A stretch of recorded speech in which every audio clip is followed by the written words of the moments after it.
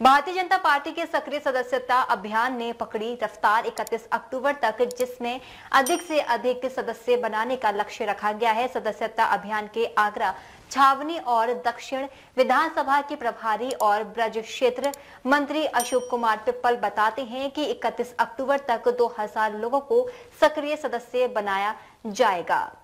भाजपा का जो सदस्यता अभियान चल रहा है, क्या स्थिति है और आगरा शहर में विभिन्न में किस तरीके से मेंबर बनाए जा रहे हैं और आप कहाँ कहाँ नाम देख रहे हैं?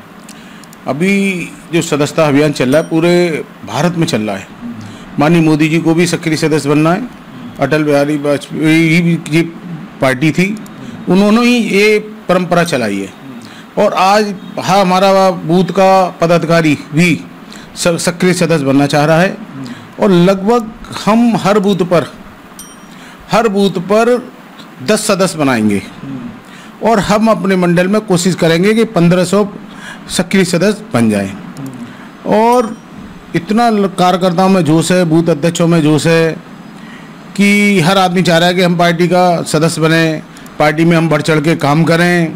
और सबको ये एहसास हो रहा है कार्यकर्ताओं को कि यही पार्टी एक ऐसी है कि आगे देश को बढ़ाने वाली पार्टी है, महिलाओं का सम्मान वाली पार्टी है, रोज़गार को बढ़ाने वाली पार्टी है, युवाओं को नौकरी दिलवाने वाली पार्टी है। इसीलिए हर व्यक्ति, हर कार्यकर्ता इस पार्टी में जोड़ने का काम कर रहा है। जैसे मुझे अभी आगरा महानगर में दक्षिण विधानसभा और छावनी विधानसभा का सक्रिय सदस्यता का प्रभारी बनाया गया है। तो जैसे इसमें एक तो झोल का काम नहीं होता हमारे यहाँ।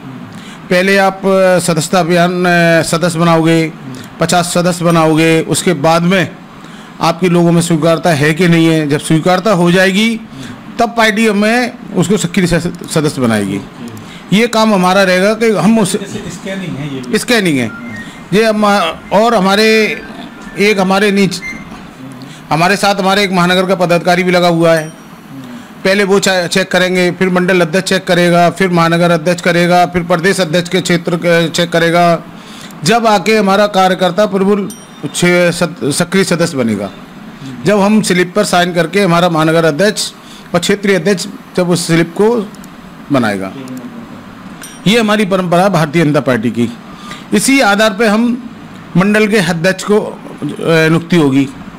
इसी से मंडल का महानगर का अध्यक्ष बनेगा। इसी से क्षेत्रीय का अध्यक्ष बनेगा। इस सक्रिय सदस्यता के बाद। और उसके साथ कितने लोग खड़े हुए हैं? ये ये हमारी पार्टी की परंपरा है उसमें वोटिंग होती है। इस कारण ये व्यवस्था है।